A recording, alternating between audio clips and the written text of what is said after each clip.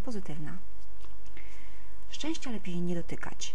Podobno jest kruche i delikatne, ale jest. Szczęście to zaczarowane słowo i strach je wypowiadać, żeby nie prysło. I jakby wstyd, przecież jest tyle cierpienia. Cóż zrobić, gdy się ma przeświadczenie, że jest się szczęśliwym albo nieszczęśliwym? Dinozaury nauczą nas dostrzegać piękno na ziemi, w przyjaciołach, sąsiadach, a nawet w tych, którzy źle nam życzą. Słodziak, miodziak, przywitaj się z Państwem, podaj łapę, łapę, podaj łapę. Hmm? Dzień dobry, dzień dobry. To jest właśnie mój nowy gość, Słodziak Miodziak. Tak się nazywa, ponieważ ma bardzo skomplikowane imię, jest bardzo miły i bardzo sympatyczny. No i Słodziak dzisiaj razem ze mną będzie opowiadał, jak to jest z tymi dinozaurami, z tym szczęściem. Otóż dinozaury są niesamowite.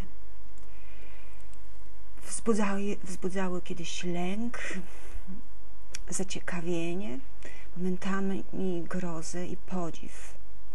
No cóż, te dawno wymarłe stworzenia wróciły do życia, ale całe szczęście nie do rzeczywistości. Wszystko zaczęło się od kawałka bursztynu, w którym zatopiony był komar, a w nim resztki krwi dinozaura. Naukowcy podjęli się tej, na tej podstawie rekonstrukcji DNA i laboratoryjnego wychowania potworów sprzed 65 milionów lat. Dzięki temu, e, tak naprawdę dzięki genialnej, wysoko rozwiniętej animacji komputerowej, komputerowym stymulatorom i efektom specjalnym, na ekranie można zobaczyć żywego Tyrannosaura rexa, Wielokiripotora i Dilophasaurusa. Oczywiście w filmie Stevena Spielberga Park Jurajski. I film ten niesie bardzo ciekawe przesłanie.